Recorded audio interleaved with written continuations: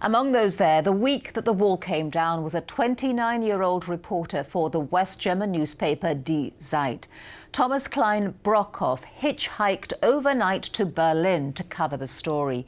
He is now the Senior Director of Policy Programs at the German Marshall Fund of the United States, and he joins us from Washington. Thank you very much for joining us on the program. Thank you. So, describe the scene when you arrived in Berlin, the atmosphere, the people, and your reaction to it. First of all, we had to uh, get through East Germany to hitchhike to West Berlin, and there was no sign of any change uh, on, at, at, these border crossings. But once we got to uh, the wall itself in the middle of the city, people were already up on on uh, the top of the structure, and it took all of 20 seconds for me to get up there as well. And I think in that moment, a worldview or, uh, uh, collapsed for me when I had looked down onto the, the minefields between actually the two walls, because in between there were uh, uh docks, there were watchtowers, there were minefields, automatic weapons, and these guards patrolling.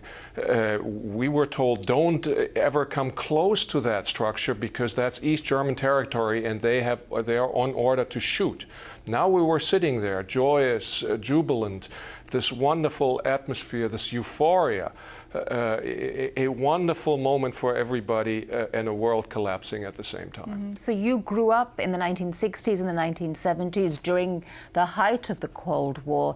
Here you were in Berlin. Did you ever imagine at that point a united Germany? Not even sitting on that wall that night. That is not what I had in mind.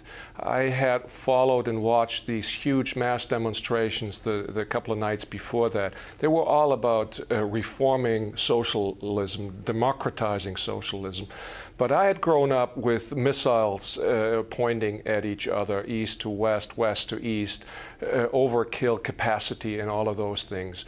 To me, that was the world I'd grown up. I couldn't imagine a Germany whole and free uh, uh in NATO, uh, and that to be acceptable to the neighbors. Not before, not at that night. Right, and and here we are now, 20 years later. How integrated is Germany? Do people there still think of themselves as being either from the east or the west, or are they all just Germans?